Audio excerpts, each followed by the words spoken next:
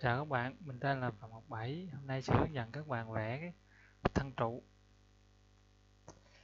Chúng ta dùng tính năng mà vẽ.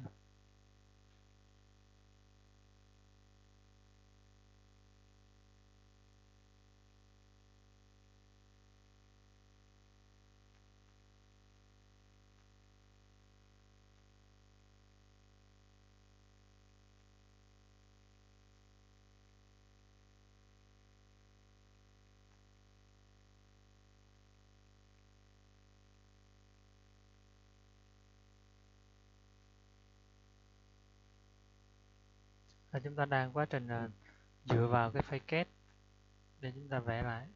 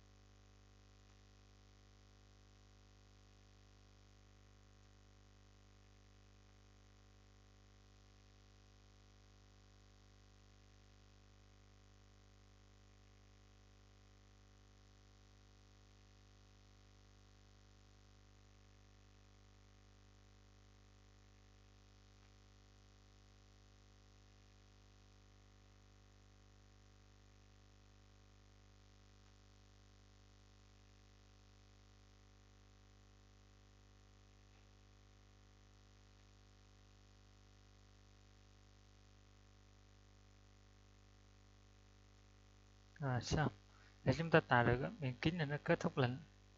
À, giờ chúng ta cái phần này rộng bao nhiêu? Ở à, đây phần phía trên này. Phía trên. rộng là 2 mét. 2 mét. Để chúng ta mới nhập vào đây. Bắt đầu là từ trừ 1 mét cho đến là 1 mét. Phoenix finish nhìn 3D à, chúng ta thấy à chúng ta có được cái thân trụ. Sau này chúng ta chỉ việc load vào dự án thôi. Tiếp theo.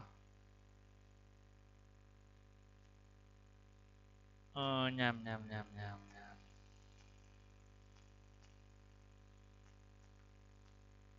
Nhầm nhầm. Ở đây chúng ta có là 1 phần 2 1 phần 2 mà cắt A 1 phần 2 mà cắt BB à, xin lỗi xin lỗi. Chúng ta phải vẽ lại. Edit Traction. ta vào phân view. Là chúng ta không phải là giống như thế này mà một nửa là cao một nửa tháp. Xóa đi. Xóa này đi. Này cũng xóa đi. Đó này cũng xóa đi. Giờ chúng ta vẽ cho nửa tháp trước chúng ta mirror qua. Chọn. Đó, ta sẽ mirror cái đường bên này qua. Đó. xong rồi chúng ta sẽ nhận ở đây là bắt đầu là từ không. Để xem là bao nhiêu. Phần tháp phần thấp ở đây là người ta thiết kế hai cái này nó không, không có 250 cái gối này xịt vô chút gối này xịt ra một chút. À, nhưng mà bên này là vẫn là một mét bên này vẫn là một mét. Thì chúng ta đứng từ không ở đây chúng ta đến đây là một mét. Nhập vào đây là mét ok. À, à, đây là chúng ta có được cho cái phần là phần thấp. Giờ chúng ta sẽ vẽ cho phần cao nữa. Chúng ta lại vào chiếu đứng.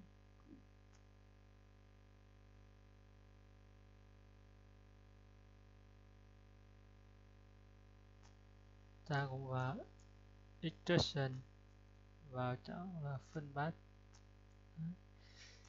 và lần này thì chúng ta vẽ cho cái đường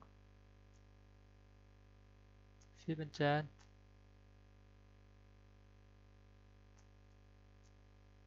Đây, ta bắt đầu.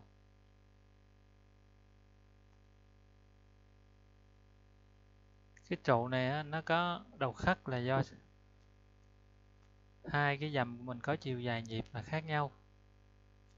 Một nhịp là 33 m một nhịp là 20 m cho nên chiều cao xà mũ nó thay đổi.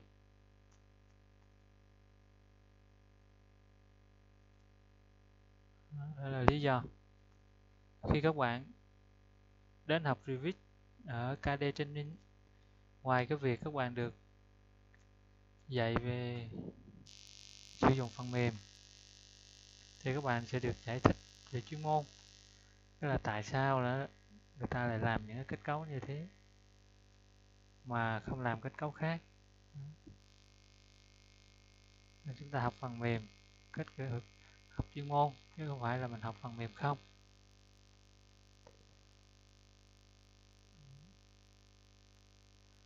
Nên chúng ta sẽ không có học chuyên môn thuần túy, mà chúng ta sẽ học chuyên môn kết hợp với phần mềm. Để chúng ta sẽ hiểu vấn đề nó sâu hơn. Ở đây chúng ta dừng lên đây thôi. Là bởi vì bên này nó khác đem đi ra qua đem đi ra qua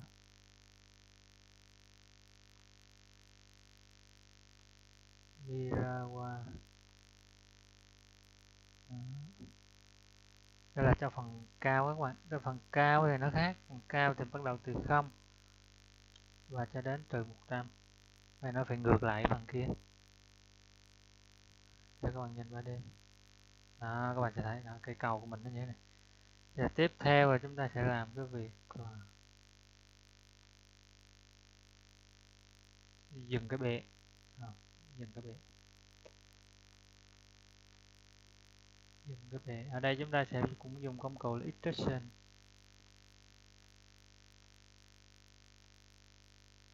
Bề cái bề ở đây là nó chữ nhật và nó suốt luôn cho nên mình dùng bit cho nó nhanh và đây là đi từ từ một mét đến một mét. Nó cái bit bề thì nhất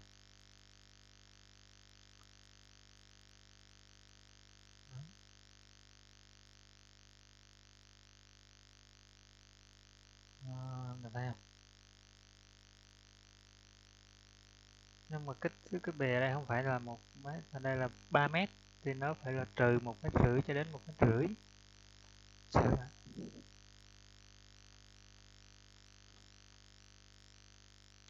Một mét rưỡi trừ một mét rưỡi đấy, là có ngày. Rất đẹp Giờ chúng ta sẽ thêm cái phần à, đá kia gối vào.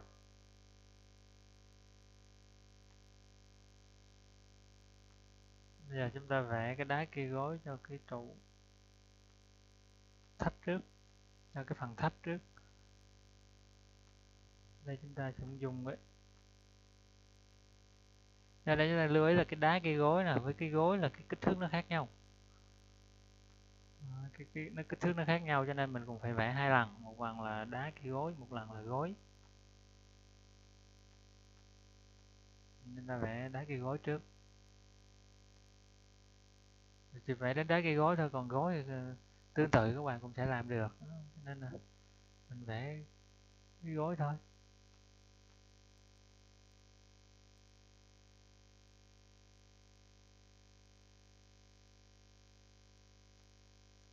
It doesn't yeah, it doesn't. Chọn một khoảng làm việc phân bát doesn't là chúng ta cần vẽ vào hoặc là bit. Thì ở đây mình sẽ chọn là cái phần phía trên này là bit. Phần à, phía dưới này là vẽ. Chứ không phải lúc nào chúng ta cũng cũng vẽ cho nó cho nhanh rồi giờ cái đá cây gối này nó nó nó, nó rộng bao nhiêu đây? Đây phần thấp tại đây bắt đầu từ không từ không. 50 nãy là mình à, đứng ở đó bắt đầu từ không. 500 là 50 cm đấy. 500 definite Đấy, chúng ta sẽ được cái gói cầu nằm ở đây. Chúng ta copy ra.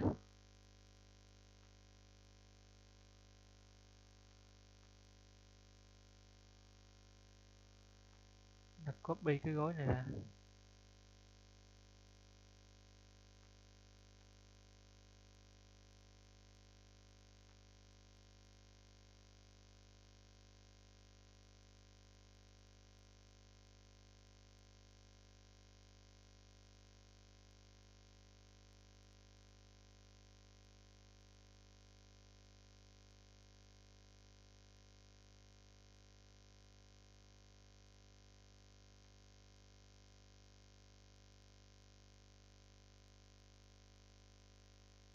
Xong nên ta xong cái phần ờ, gối cầu. Để ta bi ra qua ờ, sẽ nó sẽ được cho bên còn lại nữa.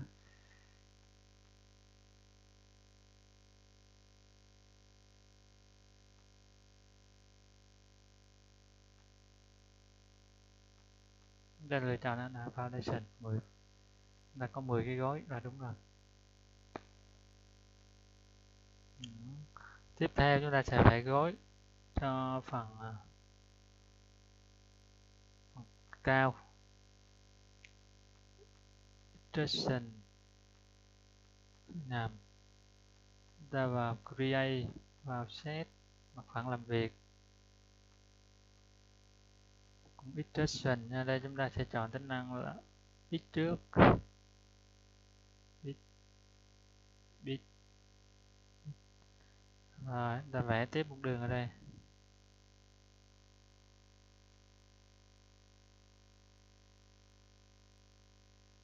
Rồi. Ta chưa nên finish liền mà chúng ta phải coi các bạn vẽ kết là nó đi từ đâu đến đâu.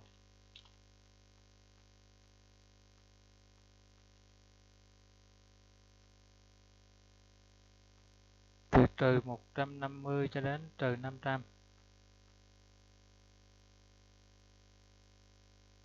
bắt đầu nè, là từ trừ 150 cho đến trừ 500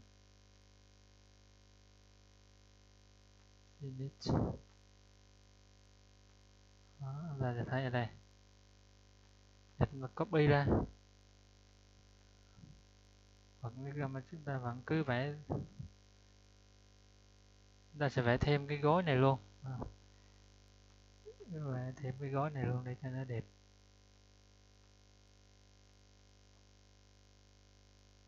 Bit bit bit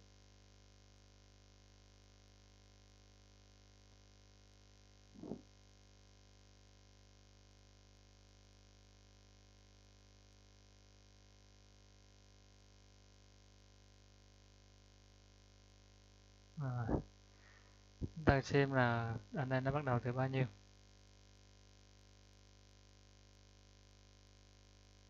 Hai trăm năm mươi trừ hai trăm năm mươi trừ bốn trăm. Trừ hai trăm năm mươi trừ bốn trăm.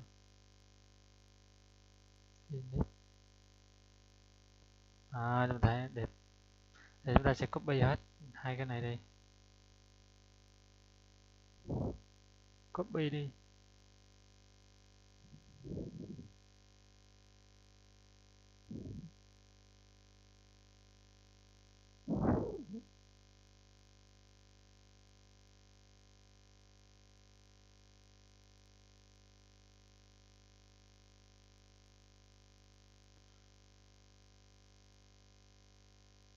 Trong phần tính toán thì chúng ta cũng phải tính. Để có cơ sở lựa chọn cái gối cầu. Đá cây gối là bao nhiêu?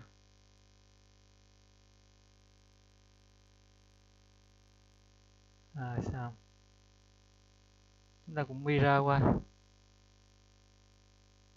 À, chúng ta mirror qua. À, xong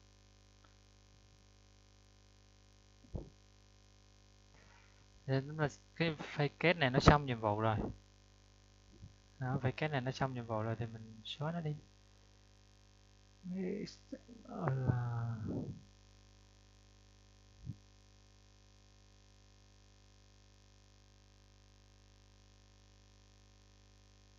Đấy, các bạn đưa chuột vào mình sẽ thấy nó có một mình vào menu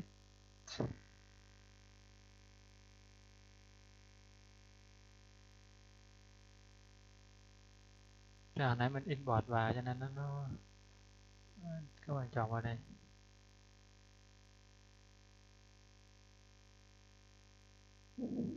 Xóa nó đi. À, vì nó xong nhiệm vụ của nó rồi. Đây chúng ta đã có được một cái trụ.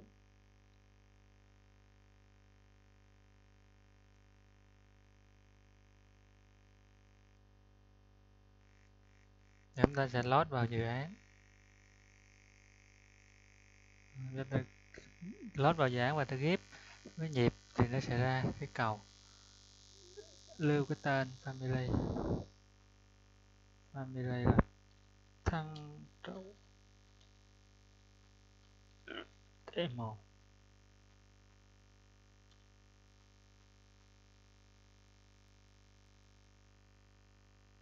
Được các bạn có thể đăng ký lớp học ở đây ở phía dưới nó sẽ có cái địa chỉ.